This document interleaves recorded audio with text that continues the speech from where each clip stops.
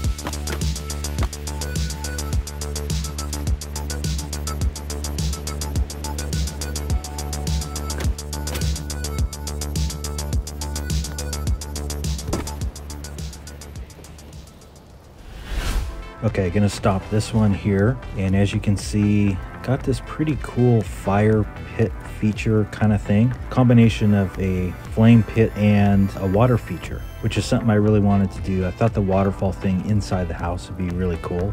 You could see all the way through the water feature, see the fire, and then all the way across to the other side of the house, which I thought was architecturally kind of a cool thing to add.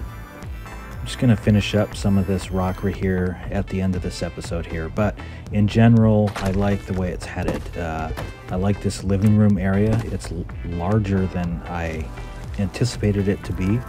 Not sure how I'm going to deal with that, but we'll come to that when it does. But I, I really like the start. I like the odd shape to it, and I really like the water feature and fire pit type feature thing. I but as far as this one goes, we're gonna call it here with the fire pit water feature thing in the in the living room and establishing kind of the shape of the house and the size of it. So thanks for watching, thanks for stopping by, and until next time, keep building.